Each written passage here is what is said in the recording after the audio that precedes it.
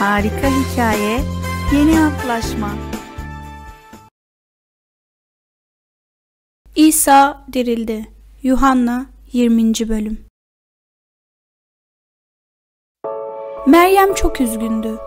Çünkü insanlar İsa'yı öldürdüler. İsa'nın mezarına gitti. Mezarı büyük bir taşla kapatılmıştı. Ama şimdi büyük taş orada yoktu. Meryem öğrencileri biri İsa'yı götürmüş dedi. Öğrenciler mezara gittiler ama İsa orada değildi. Meryem biri İsa'yı götürmüş dedi.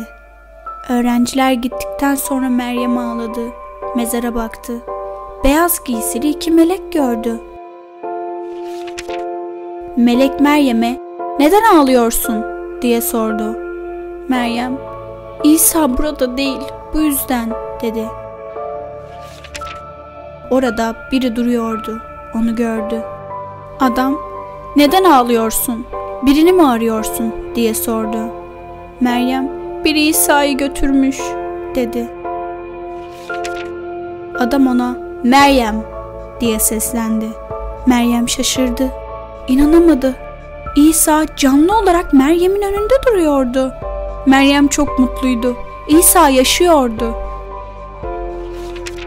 İsa, seninle kalamam dedi. Cennetteki evime gitmeliyim. Sonunda Meryem, İsa'nın Tanrı olduğunu anlamıştı. İsa Meryem'e dönüp, git ve öğrencilere onları Celile'de bekleyeceğimi söyle, dedi.